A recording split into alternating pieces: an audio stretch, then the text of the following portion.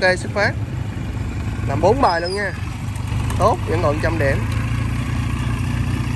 Rồi, giữa lấy bè đánh lái đều. Đúng rồi. Đúng rồi, đánh lái đều. Ok.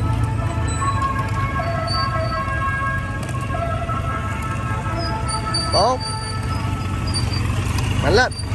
Đúng rồi. Lấy trăm điểm rồi đấy rồi, bài số 2 đi thẳng. Từ bài 2 chuyển qua bài 3 cố gắng mở rộng vòng cua ra.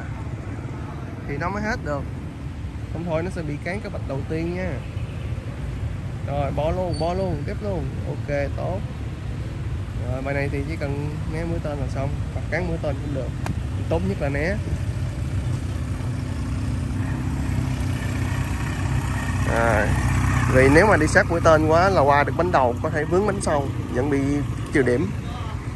Bài 4 đường ồ ghề rồi thả hết con ra luôn không cần phải bóp con.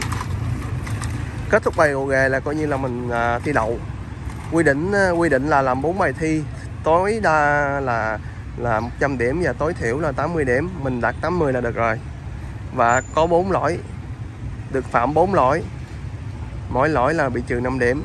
Chống chân bị trừ 5 điểm cắn vạch bị trừ 5 điểm. 5 lỗi là rớt. Thì uh, kết thúc bài số 4 coi như là xong việc. Đây. rất là đơn giản. Rồi chào tạm biệt nha.